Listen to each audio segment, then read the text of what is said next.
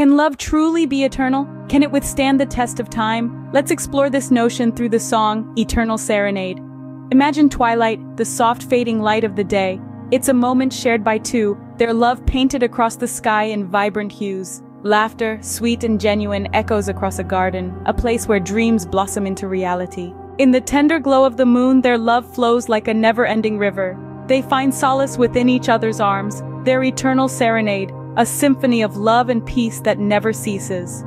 When the world falls silent, whispers of love fill the air. Their hearts dance together, an exquisite ballet of passion and affection.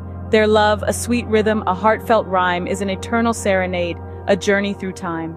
As they traverse the sands of time, hand in hand, they find in each other's gaze a celestial alignment of stars. It's a love story that echoes through the past, promising to last forever.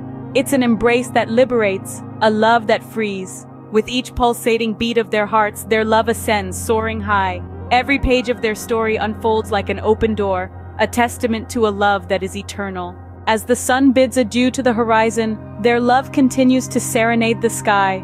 Their tale, spun in the whispers of the night, is a love that remains timeless, as constant as the morning sun. In essence, Eternal Serenade is a timeless ballad that explores the concept of an everlasting love.